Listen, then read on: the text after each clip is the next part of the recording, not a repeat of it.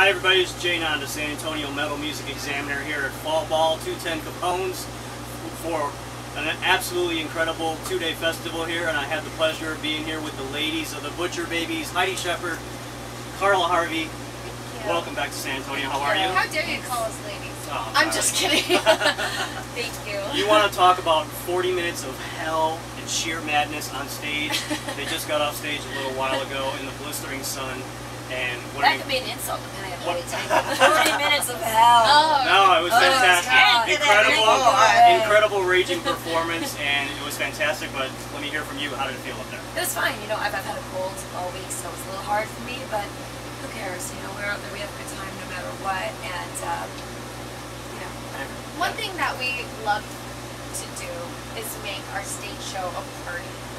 So regardless of the heat or anything, this is our party, and we're gonna have it. So, um, you know, we got up there, just had a really good time, played some fun metal.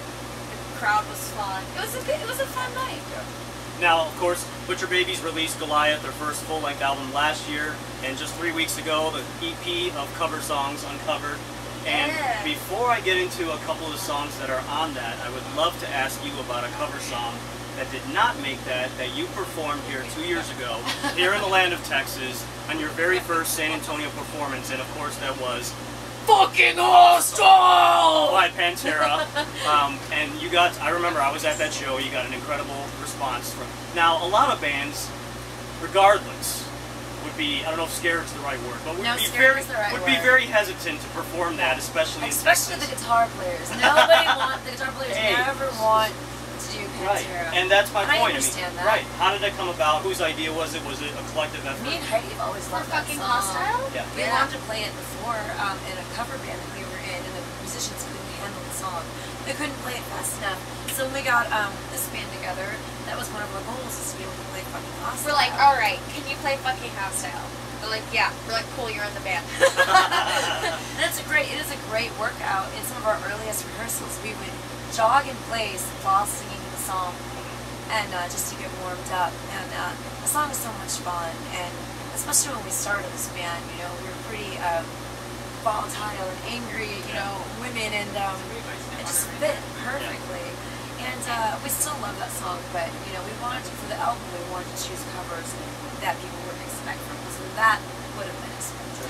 People, yeah, of course, especially since we used to perform that, and I think everyone loves that song. How can we not? Um, I, I think people were expecting that to be on a covers EP or something we would have put out.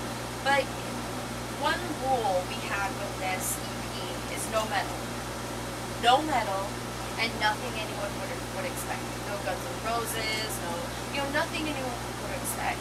And um, so we pulled songs from our childhood that kind of inspired us as kids into, you know, our adolescence, into our adulthood, everything. And um, that's how we came up with the five songs that made on the EP. Right, and of course, and I will get into that in a second, but along those lines of Pantera, uh, one thing that I'm going to be doing here in the next few weeks of all the interviews that I'm doing, and you are the first that I will be asking this question to, but in, a, in about another month or five weeks, we're coming up on the 10 year anniversary of Dimebag's passing. Um, did you ever have the chance to meet him, or even if you didn't, um, just talk about the general influence that Pantera and his music created for you? I did meet um, Dimebag years ago. I was a kid. Um, Pantera was one of my first concerts, and so I got to meet them, and I got to go backstage, and it was funny. They were a party band. They like to have fun. That's that's and what they were we doing try to is they were they were um, they had hot dogs, and they were throwing them at all the people backstage. You know, and I was a little kid, and I was like, "Come on here." But I met Dimebag. I shook his hand. It was an amazing experience.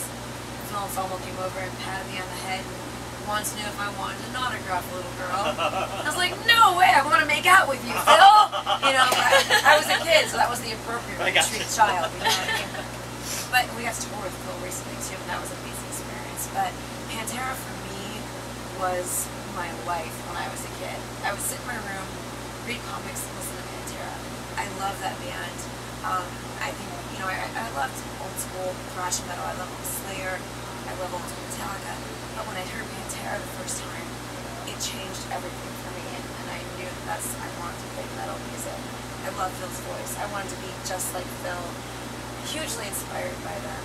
So As um, you can tell by her vocals, Absolutely. it, that's like, you know, Phil's one of our biggest, you know, vocal influences, but Pantera in general is a huge band influence. Their party atmosphere, their music is serious like ours, but on stage it's a big party, and we really take. they were also able to touch so many people as, as a metal band. Um, it's, it's pretty crazy. You would go to their shows, and there would be such a wide variety of people there. And uh, they managed to make it onto the radio playing heavy, heavy music. And that's not an easy feat. You know, it's really Something- not. Right. Something I really believe with Pantera is that they didn't just create music; they created a lifestyle, and that's an amazing thing to do as a musician. To create a lifestyle with your music. I mean, they're legends. You can't you you can't be a metal band and not love Pantera. I don't know. I if, if you're a metal band and you don't like Pantera, you have no business being in this business. But that's that's really what it is. I growing up, um, I was I grew up in a Mormon household and I was not allowed to listen to that kind of music. So as I got older and I and I and I uh, grew into you know, loving Pantera on the side as a, I had to kind of hide it that kind of and it was a huge influence for me as well. I never met Dimebag, but um, but you know he definitely, as I said, he created a lifestyle, but he also created a way guitar. There's so many guitar players nowadays who try to emulate that, and he can never be re- reproduced. That will never happen. Um, but you know, he did something for music that if he hadn't done, it would be a very different music scene nowadays. Um, you know, Pantera in general, uh, we've had the, the blessing and ability to, you know, tour with Phil for Down, and that was probably, I would say, the most inspirational band that I've ever we've ever toured with. Um, because the guys in the band are really awesome, but also Phil was incredible and was such a nice person to us. He he took us under his wing and he, he even told us I, I bestow the gift of success to you. Use it wisely. And then he turned around as he walked away and said, "It's a curse." It's a curse. and but but really, he he took us under his wing on that tour, and it, it made me kind of it restored my my uh, I, guess both faith and metal at the same time because he really, as a legend, he could be a, a really great person. Same as Zakk Wylde, but you know he could be a really great person at the same time. I was afraid to meet him. I was so afraid. And same with Vinnie Paul. I was afraid, but they have both been so incredibly nice to me and us as a band. Been very supportive of us. And you know, after we we took their their big song, fucking hostile, and probably, as some people say, you know, we ripped it off a little bit, but um, they've been very supportive of us and nice people. And I think above and beyond being legends as music, as musicians, you know, they they're great people as well. And of course, on the EP, you have a Suicidal Tendency cover. Of course, you did SOD, Pussy Whip. You got some ZZ Top, and of course, the Osmonds, which on the surface is completely unexpected.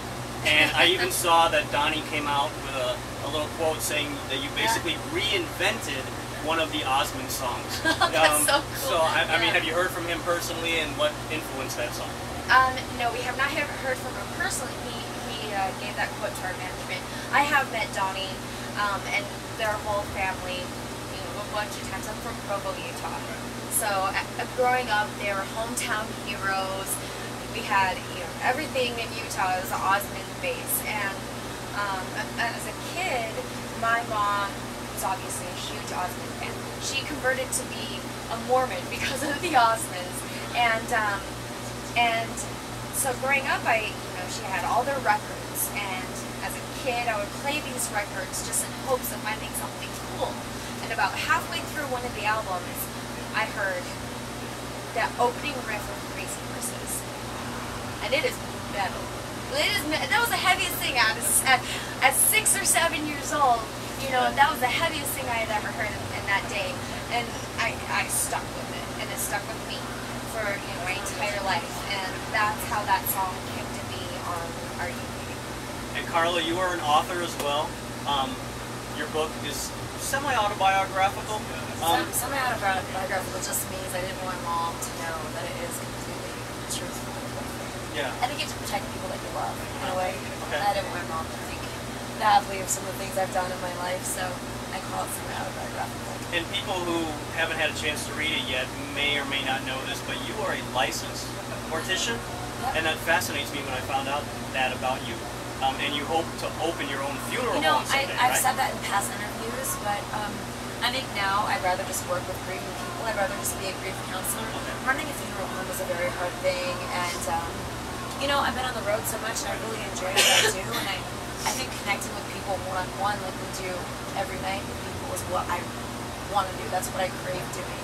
And I think that for me, um, doing some form of grief counseling would be a go. And I have a question from one of my social media readers. Uh, Yvette from Temple, Texas wants to know, Heidi, she said she read somewhere that your mom is a cousin or a distant cousin of Alice Cooper's. That's my That's mother. Oh, your mother. Okay, she said Yeah. you. So this question would be for you. Um, My mom is, um, her father is, I believe, uh, brothers with Alice Cooper's.